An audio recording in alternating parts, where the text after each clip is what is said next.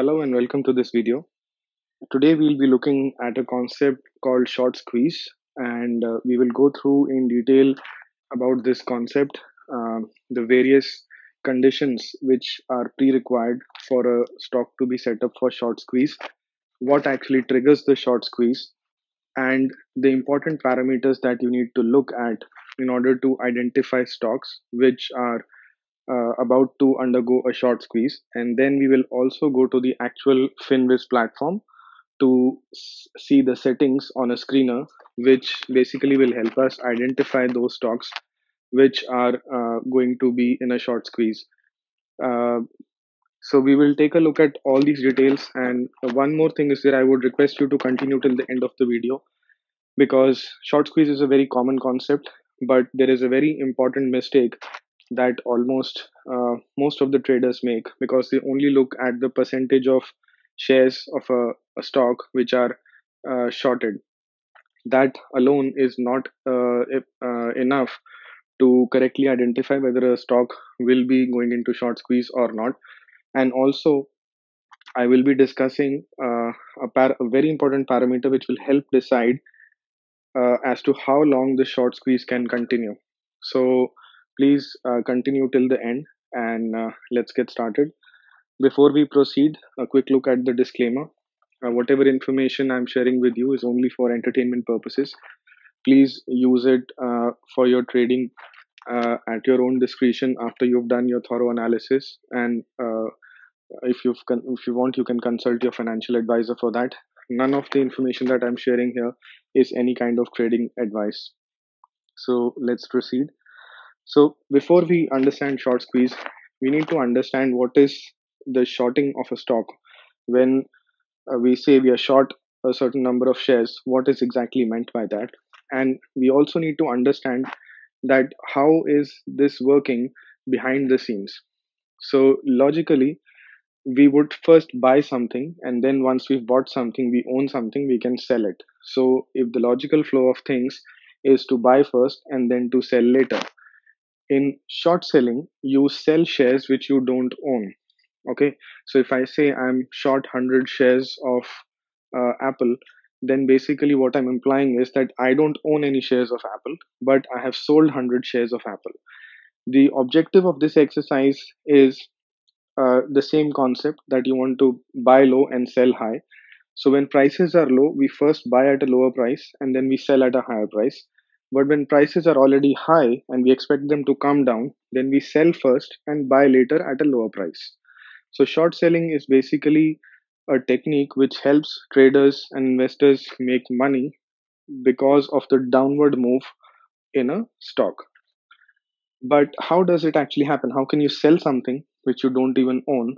So, the concept here is that all of us, when we trade, we basically trade via a broker.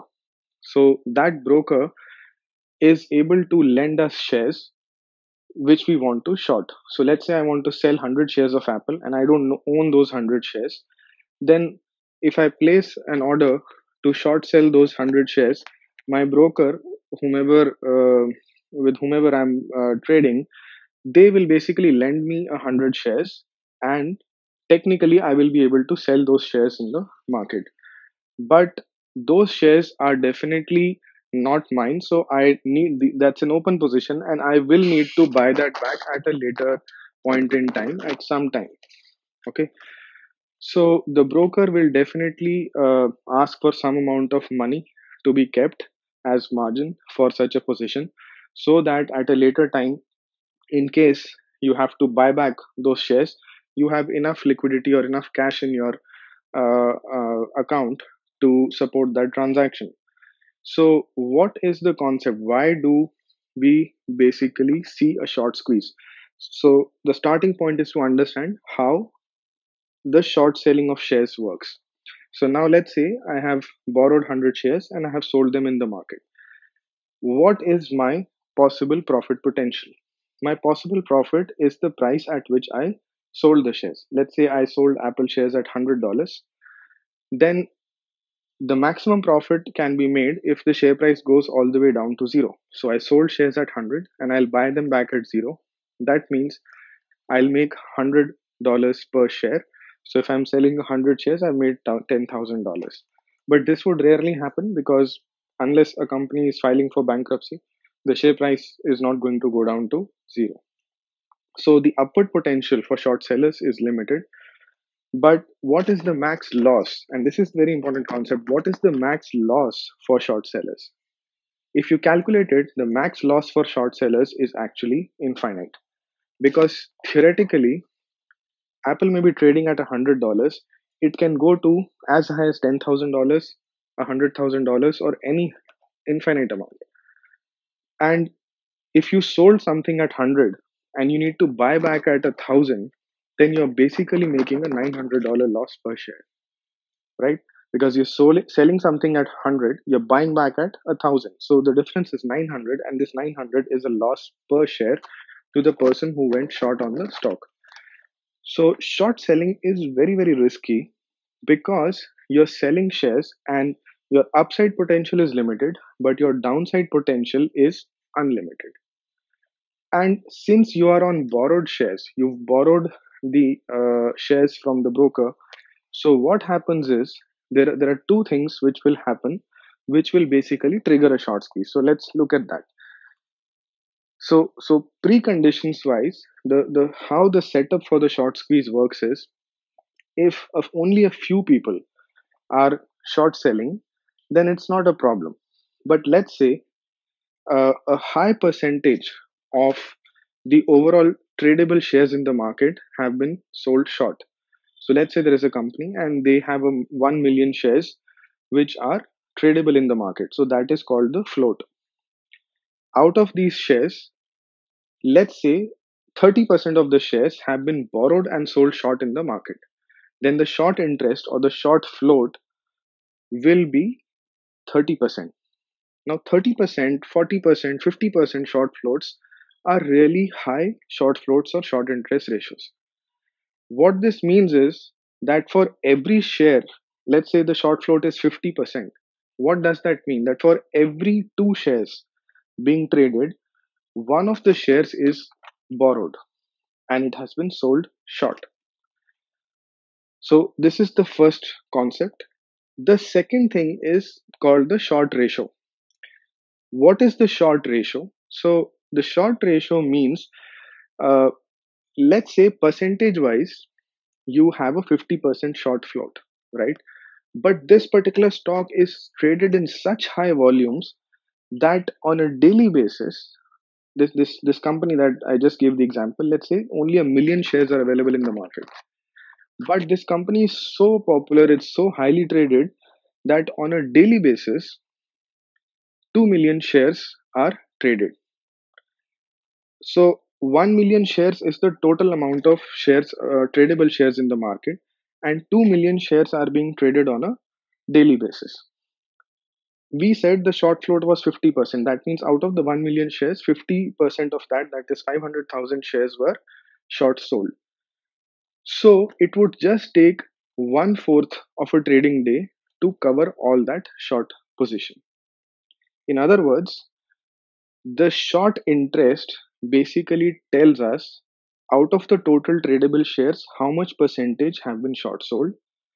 The short ratio basically tells us how many days based on the average trading volume would it take for the shorts to cover their position.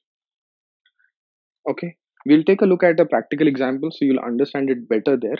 But the the reason why the short ratio is important is because if the short ratio let's say reaches a value of 20 what does that mean? That means forget about the percentage of shares being shorted here.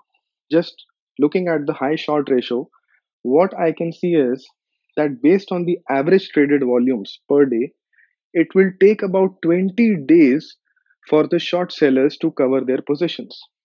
That means this short squeeze if it gets triggered will last for a pretty long time. At the current average volumes, the short squeeze can last for as long as 5 to 10 days. Why am I saying 5 to 10 days? Because 20 days is the total volume, is the total time required for all short sellers to cover. The short squeeze can continue as long as there are significant number of short sellers, right? So let's say as long as half of the the the, the shorted shares still exist, uh, the short squeeze can continue. So for completely buying back all the shorted shares, it takes 20 days. For buying back half of those shares and reducing reducing the short interest to half its value, it will probably take 10 days. So with the short ratio, we can get some idea as to how long the short squeeze is going to continue. We'll get into more details and I'll basically cover a few examples on the Finviz platform. So there you'll understand it better. Now, what triggers the squeeze? And this is very interesting because you already have a lot of shares shorted, right? So there are two things which trigger the short squeeze. The first thing that triggers the short squeeze is basically the stop losses. So let's say I, as I gave the earlier example, I'm shorting shares of Apple at $100. Now, I don't want to make unlimited losses, right? I know my loss potential in this trade when I'm shorting shares is unlimited. So what I will do is I will put a stop loss order at $105. That means I'm selling 100 shares of Apple at $100 each. But I'm also putting a stop loss order that if the price of Apple were to go against me, in this case, if the price of Apple starts increasing, the moment it reaches $105, I want to buy back that position. So what will happen? I would have bought shares at 105 and initially I sold at 100. So I will just make a loss of $5 per share. And that is a stop loss which I'm putting in. So for some reason, if some catalyst comes in, it could be a news event. It could be the Reddit forums where the Wall Street bets forums and other places where people just get together and start buying shares and jacking up the price. Or it could be an institutional investment coming in which in which raises the price. Whatever reason is there, but if you have a sh- high short interest, or let's first of all consider let's consider that I have gone 100 uh, shares short for Apple and for some reason the price of apple goes to 105 then what happens? My stop loss is triggered and i am uh, my, the system automatically buy, buys back those shares for me right?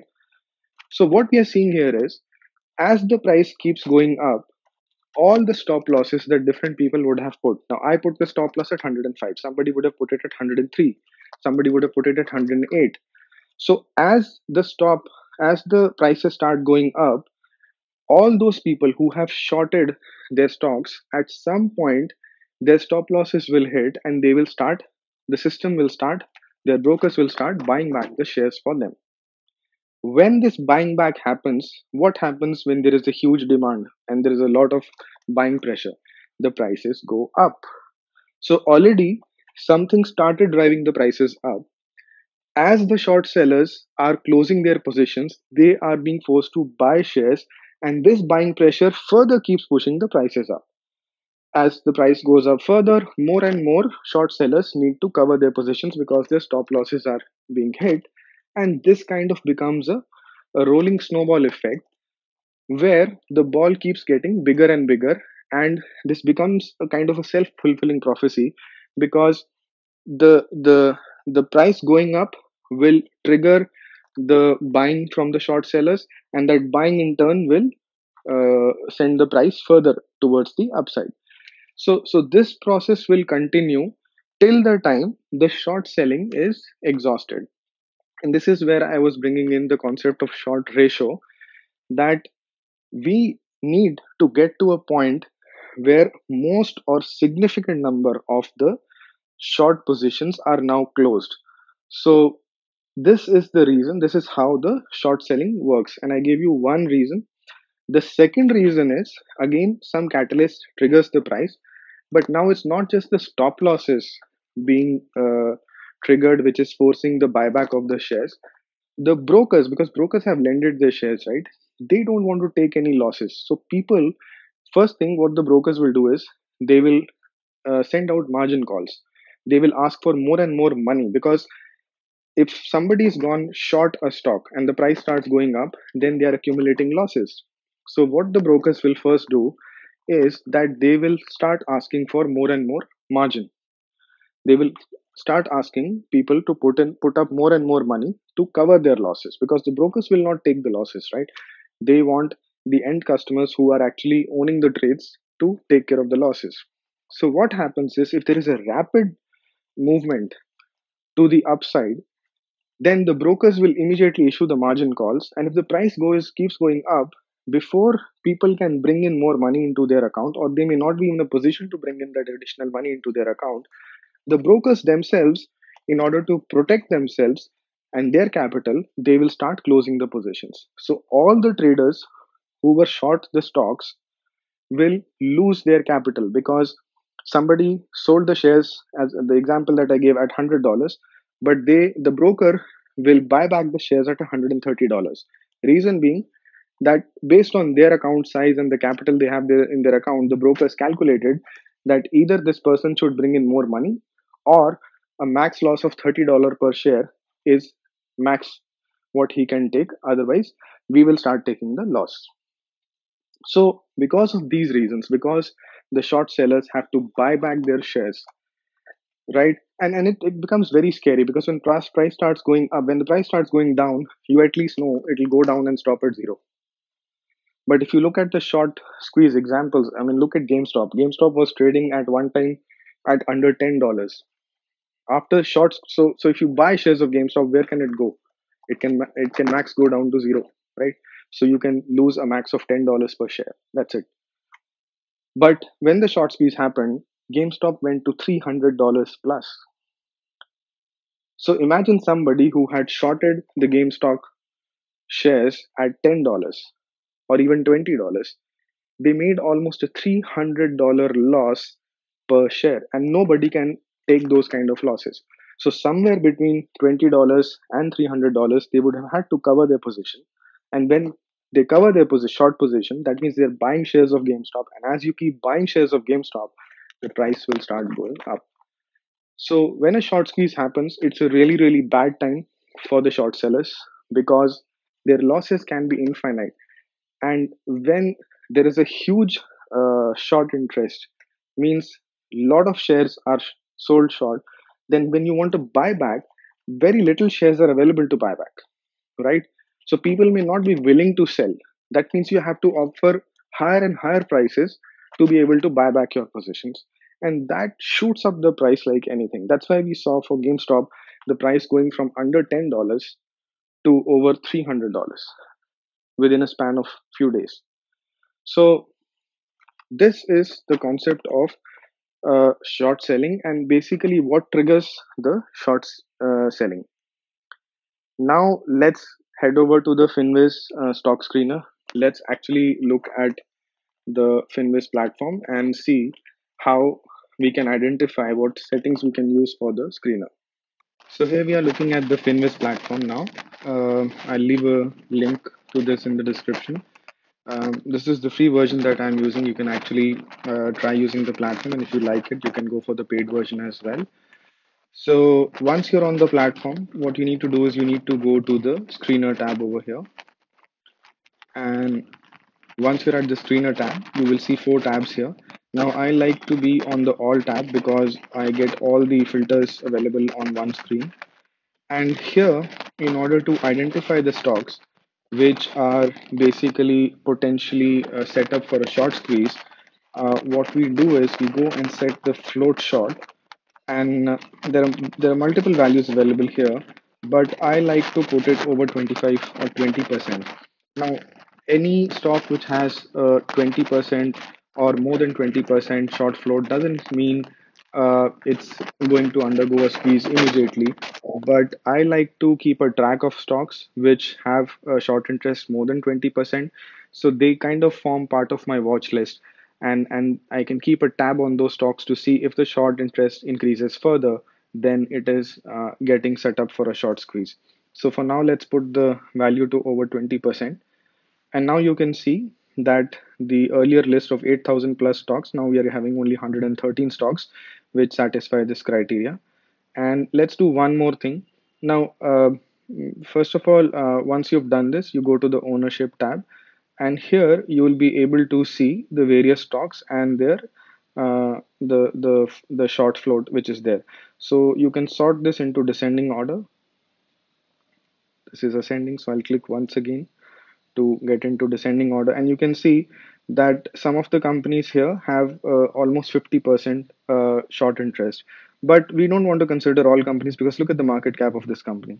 It's $38 million only. So we want to look at big companies, uh, not at all the companies, the very small ones. So I'm going to select the market cap as plus mid. So we only now are going to list companies which have a market capitalization in excess of 2 billion. dollars.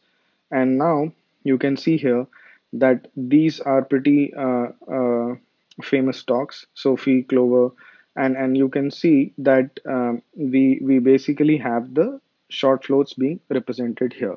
So I had discussed a concept um, of short interest, and then we also discussed the short ratio. So here I'll explain. Uh, look at SoFi. Okay, look at SoFi here. What is the uh, short float? It is 46.69%. That means out of all the outstanding shares which are tradable, that is the float. So 60.57 million shares are there which are tradable. Okay. All shares you have to understand which have been issued by a company are not tradable on the markets because some of the shares are preferred shares and other kinds of shares which can't be traded. So float represents the shares, this the portion of shares which are tradable, and that is 60.57 million uh, shares. And out of that, we will take this as almost 50%. So almost half of the shares have been borrowed and sold. That means that around 30 million shares uh, have been sold. If you want to go exact to 45%, it'll be slightly less. So about 27 million, 26, 27 million shares, which are shorted. That thing, if you divide by the average volume, right? So we have about 27 million shares or 28 million shares short, and daily we are trading 7.6 million shares. If you divide these two numbers, you'll get to somewhere around 3.7. So 3.7 basically means that if you go with the average daily volume, how much time would it take for all the short sellers to get rid of their positions? That means at the end of those transactions, how many days would it take at the at the current average volume to get rid of all the shorted shares? So if I'm trying to identify companies which are going to potentially have a short squeeze, I just don't have to look at this number. I also need to look at the short ratio because if you look at Clover, right, this will not go into a short squeeze. The reason is look at the short ratio 0.71. So although 36, 37% almost shares are shorted and, and the total float is 112 million dollars, right? 70% will be about 75, 80 million, uh, uh, sorry, 37% uh, of this is going to be about 40 42 million uh, shares. But look at the daily average volume. Daily you're trading almost 58 million shares of this stock. That means in a single trading day if the the the short sellers based on the average volumes if the short sellers wanted to cover up their positions they would be able to cover their positions based on the average volumes in less than a day. So if a short squeeze at all is triggered on clover it's not going to continue for long because the volumes are so high as compared to the number of shares that need to be bought back that it's going to last only for a few hours. Whereas if you look uh, at something like fizz based on this average volume you can see it takes about 13 days 13 days for the short sellers to cover their positions. So if a short squeeze is triggered on fizz it's going to relatively last for a longer number of days. So this gives you a fair idea where the short squeeze is really becoming significant because the percentage itself should not be used. You need to use it in conjunction with the short ratio. Because short ratio will represent the the the amount of time for which the short squeeze that environment will last okay? Because if the environment doesn't last for long then the then the price movement that will happen will not be uh, too much. So right now i shorted by the percentage. You can also short it by you can also sort it by the short ratio. So we can see that uh, um, I mean, this uh, IGMS has a 20% uh, short float, but it's got a short ratio of 18 days, more than 18 days, because the average volumes are low. So when you are looking for short squeezes, just don't look at the uh, short interest numbers. Also look at the short ratio because that gives you an idea as to how uh, strong the squeeze will be for how much will it be able to last? Because if the short squeeze is triggered and based on the volumes it gets over within a couple of hours then it's very difficult to take advantage of that. Whereas if the short squeeze continues for 2 3 days because the based on the average traded volumes the volume of shorted shares is so high that uh, even if the short sellers want because you have to understand why is volume important. Any short seller who wants to buy back shares needs somebody to sell those shares at that time, right? So somebody should be willing to get rid of their shares.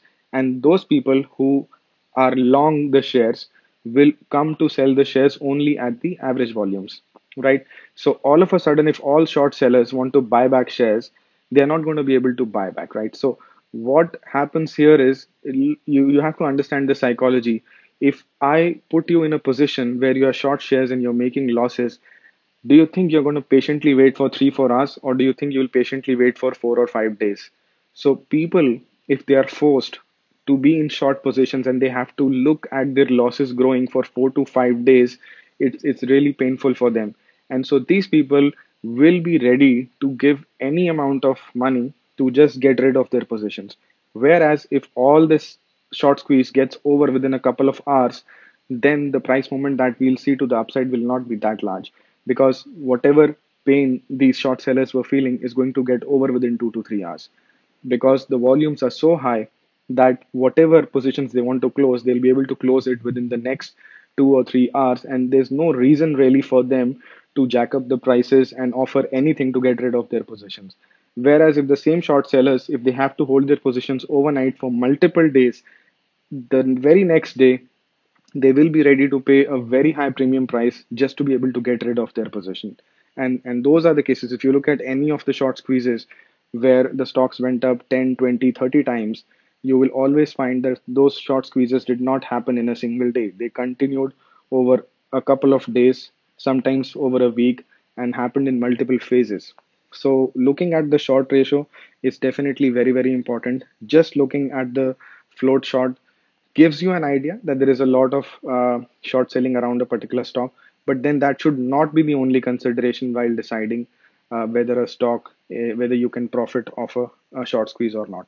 So once now this is the screener. One additional thing that I'll mention is uh, I'll, I'll be creating a, another video that how do you basically trade the short squeeze but you should use this information in conjunction with the charts because the short squeeze as such is nothing it is telling us that the chances of a stock price once it starts going up that upward momentum is going to continue for some time because the short sellers will have to cover up. So you need to club this information with the rest of your trading strategy. This you can't just use it alone that just because some stock has a high short interest it's the price is going to go up. That's not going to happen. So i'll be creating another video with a complete trading strategy that you can club with the short squeeze. And the short squeeze will basically act as one parameter which will improve the probability of us making a profit.